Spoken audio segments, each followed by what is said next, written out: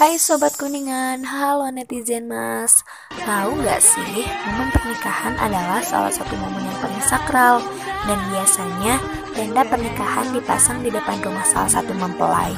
Namun, berbeda dengan salah satu acara pernikahan di desa Cepaka Malember, Kabupaten Kuningan Yang menggelar tenda pernikahan di tengah jalan Dan pemilik hajat tidak memblokir jalan tersebut Akhirnya, banyak kendaraan yang melewati area tersebut, terutama kendaraan roda empat seperti mobil ambulans, kolbak, truk, dan bahkan ekskavator juga ikut melintas di dalam tenda pernikahan tersebut.